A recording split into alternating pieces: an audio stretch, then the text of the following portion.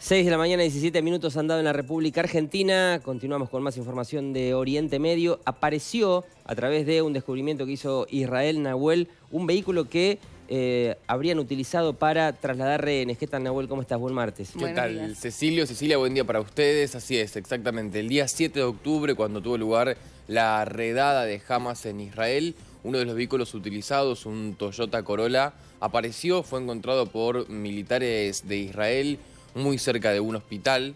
Aquí lo tenemos, este es el vehículo en cuestión. Y lo detectaron por las diferentes indicaciones ¿no? que tenían en relación a este vehículo sobre su carrocería, los números de motor, por ejemplo, la chapa patente, bueno, varias cuestiones básicas que coincidieron y permitieron dar a conocer entonces este hallazgo. El ejército dice que este automóvil pertenecía a uno de los tres rehenes asesinados a tiros por error por soldados israelíes durante operaciones de combate en Gaza.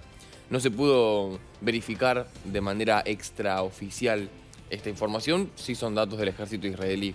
Los videos fueron tomados en el hospital indonesio en el norte de Gaza, que según el ejército de Israel escondió la infraestructura utilizada por Hamas. Entre otras tantas cosas entonces apareció este auto, este Toyota Corolla blanco que ya es parte entonces de esta investigación.